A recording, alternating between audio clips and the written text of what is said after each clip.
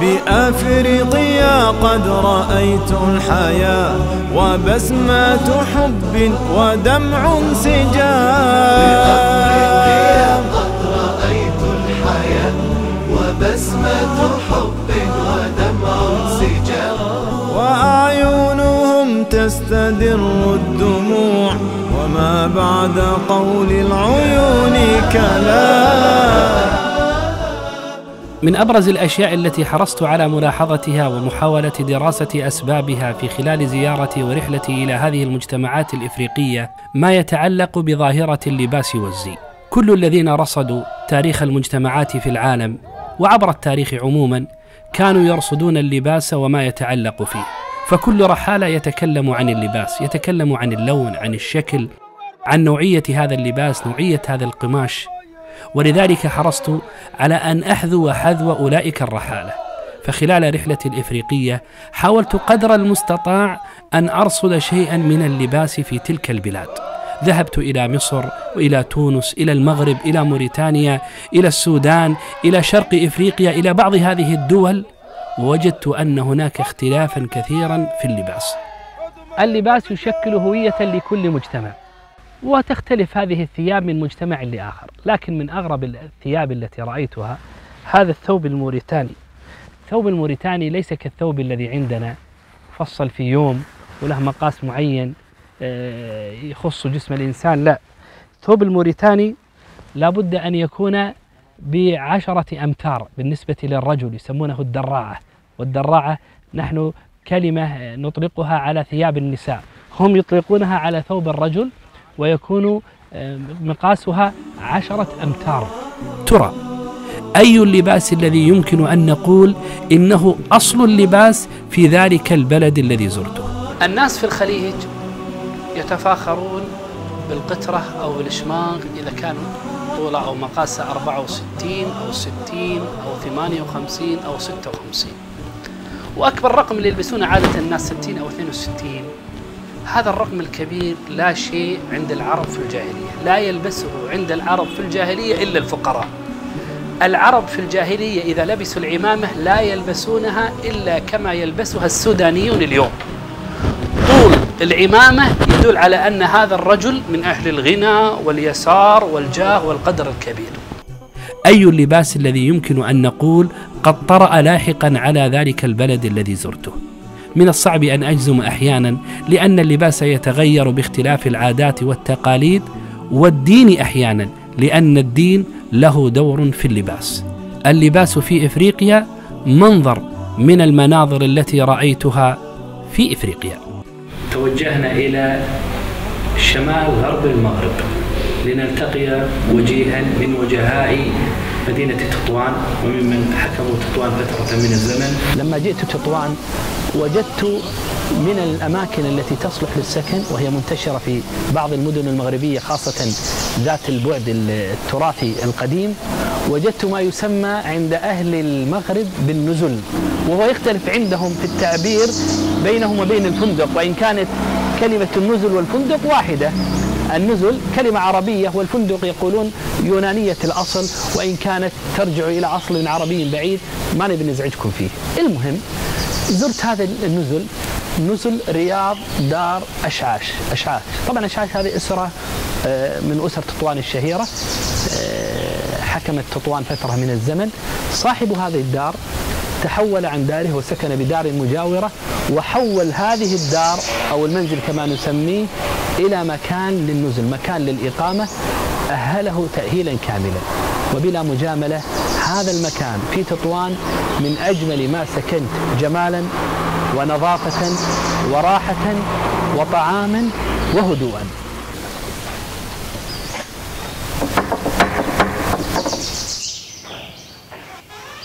أهلا مرحبا بالشيخ جليل. وهذه زيارة كريمة. أشكركم عليها. وهذا بيتكم إن شاء الله. مرحبا مرحبا. أهلا مرحبا. تفضل يا أخي. أهم سؤال قبل أن ندخل. أيوة.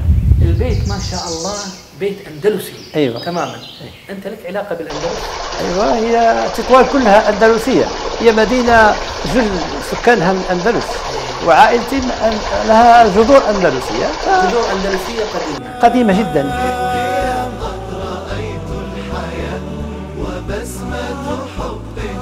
تقي وجيها من وجهاء مدينة تطوان أعجبت برأيه وعقله. رجل فاضل حقيقة من الفضلاء الكرام. وقلت بدل لا أنا أزعجكم في الكلام وكل يوم طالع عليكم ونتكلم عن عادات البلاد. وعفسنا الدنيا فوق حذر بالعادات والتقاليد مرة نحطها يمين ومرة شمال. آه، لا يحسن الكلام عن البلد إلا أهله. وما دام إحنا في ضيافة العم الجليل سيدي عمر أشعاش آه، سنسأله عن اللباس في المغرب. طبعا آه، كل إنسان يحب أن يلبس لباسه لأنه يعبر عن هويته. اليوم ال- آه، إخواننا في المغرب سيدي عمر آه، كثير منهم صار يلبس اللباس الجديد. وأنت ما شاء الله في الغالب نراك محتفظا بلباسك الكريم. بصراحة يعطي جمالا. شكرا. خلنا نبدأ من الرأس. وأنت رأس في كل شيء إن شاء الله. ما شاء الله. الله يبارك. شكرا شكرا. هذا اللي أنت لابسه الآن. لما ذهبت أنا إلى تونس يسمونها الشاشية مأخوذة من بلاد الأندلس. أنتم شو تسمونها؟ إحنا بنسميه طربوش. طربوش. طربوش. وفي أنواع. هذا نوع. يعني هناك طربوش دائري دائري. وهو المتداول زين. ثم هناك طربوش من هذا النوع هذا. نفس اللي أنا لابسه. تقريبا. وكان هو أظن أو- أول من استعمله هو المرحوم محمد الخامس. محمد الخامس. محمد الخامس كان له طربوش مثل هذا ولكن بلون أب عادة بيكون لون أبيض أو يعني مفتوح. يعني لونه مو. يكون أحمر. لا محمد الخامس كان يلبس هذا النوع من من الطربوش يعني على علم يعني. هو أول ما شاهدته أنه يلبس هذا النوع من الطربوش وكان لونه دائما يكون لون يعني لون مفتوح. مثل الآن أنا أشوف بعض الوجهاء وحتى الملوك كذا يلبسون الطربوش المختلف. العادي يعني العادي. العادي الدائري الدائري. الدائري الأحمر الدائري هذا هو الطربوش المتداول المعروف ولكن قبل هذه الفترة كان كانت كانت طرق أخرى اللي كانت العمامة. خلال جولتي في بعض الأسواق التي كنت أزورها كنت أرى اختلافا كبيرا في تلك الأسواق. فيتضمن سوق الملابس كل ما يلبس. فالأقمشة تحاك ثم تخاط أو يتم تشكيلها إلى ملابس بطرق أخرى. جمال مدينة فاس في جامع القيروان الذي يكون في وسطها وما حوله من الأسواق. وميزة الأسواق المحيطة بجامع القيروان أن كل آه، بضاعة يوجد آه، فيها ما يتعلق بها فالنحاس لوحدها واللباس لوحدها والبلغة لوحدها ها؟ البلغة هذا حذاء محلي. المحلي. زين في في. قوله تعالى. نعم بقرة صفراء فاقع لونها تسر الناظرين. روي عن ابن عباس ويروى عن علي رضي الله عنه أنه قال حببت النعل الصفراء منذ قرأت هذه الآية. صفراء تسر الناظرين. فعلا يقولون إن البلغة لا بد أن تكون صفراء؟ أو صفراء أو بيضاء. لا الأصلية الجيدة صف... اصليه صفراء زوانيه ملكية هي حتى الأسماء هذه من أين مثلا الصفراء؟ هذه من أين؟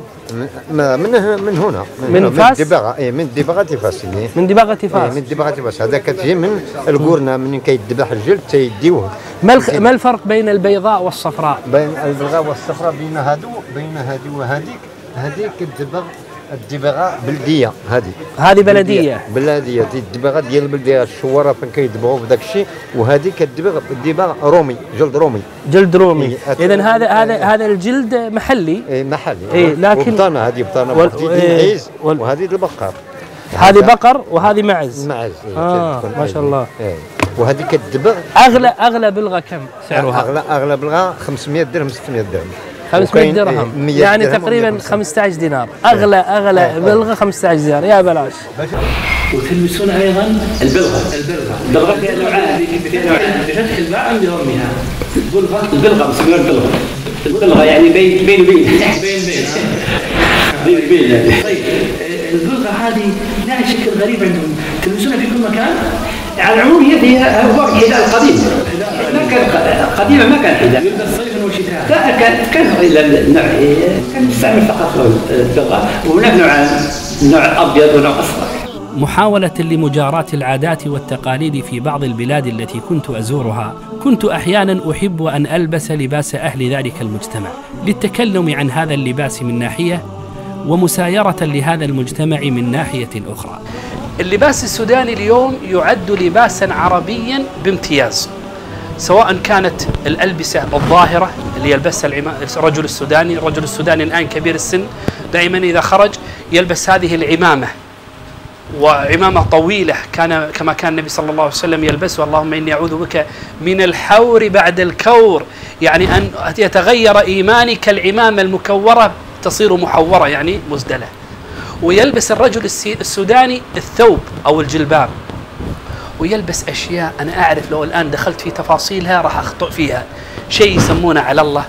هذا شيء يلبس في الداخل وشيء يسمونه عراريق والطاقية التي نلبسها عادة. حتى المعاريس عندهم لهم لباس خاص. فعلا لون عرس هذا. هذا اللون لون عرس يدخل البهجة. مع أن أنا ما أحب اللون الأحمر أحب اللون الأخضر. لكن عموما الزي السوداني يبقى زيا آه، مناسبا. كبار السن الآن من السودانيين في الغالب لا يخرجون في المناسبات إلا إذا لبس العمامة مع الجلباب ويلبس أحيانا الصدرية ويحمل معه العصا. وكل كل هذا دلالة على جاه وقدره. في البدء ارتبطت الحاجة إلى الملبس بالحاجة إلى الوقاية من الأحوال الجوية كالبرد والحر. فتطور اللباس من مجرد جلود الحيوانات وصوفها وفرائها وريشها إلى ملابس يحيكها ويتفنن في خياطتها العديد من الماهرين والحاكه وكان للثورة الصناعية أثر كبير في تطورها وتنوعها. ثوب الموريتاني لابد أن يكون بعشرة أمتار بالنسبة للرجل يسمونه الدراعة. والدراعة نحن كلمة نطلقها على ثياب النساء. هم يطلقونها على ثوب الرجل ويكون آه، مقاسها عشرة أمتار. لكن يجد الإنسان صعوبة ومشقة في لبسها وتحريكها. ما أدري الصعوبة عند الموريتانيين ولا عندي أنا بس في التنقل. يعني ما شاء الله من اليوم أنا بس عابل فيها. ثوب المرأة يختلف. ثوب المرأة يسمونه ملحفة و أقل من الرجل. الرجل عشرة أمتار والمرأة خمسة أمتار.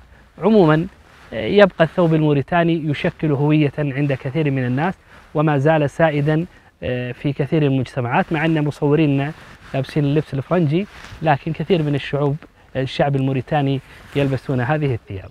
طيب بالنسبة للنساء النساء ماذا يلبسن؟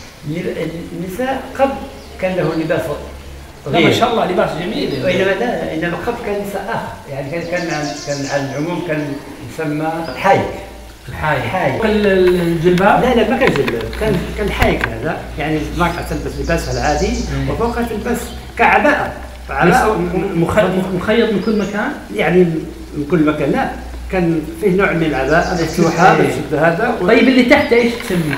كان هناك أشياء مثل آه، سميه هذا الدفين والقفطان وأشياء من الاشياء هذه. أنا أريد أن أوجه رسالة. أن اللباس كاللغة تماما. يعكس مظهرك وهويتك. فاحرص على هويتك الإسلامية والعربية قدر المستطاع. بعد تنفيذ 200 ساعة تلفزيونية وثقت فيها الكثير من البلاد الإسلامية متجولا فيها أوجه الدعوة للقنوات والقطاعات الحكومية والأهلية والشركات المساهمة لرعاية هذه البرامج الثلاث. دول الخليج آثار وأخبار في التعريف بدول الخليج في الجاهلية والإسلام. البرنامج الثاني سحابة الخليج تمطر العالم في التعريف في العمل الخيري الخليجي في العالم. والبرنامج الثالث آسيستان في التعريف بالحضارة الإسلامية في شرق آسيا وفي غربها.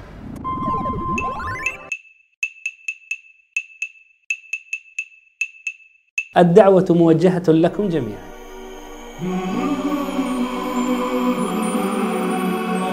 بأفريقيا قد رأيت الحياة وبسمة حب ودمع سجاب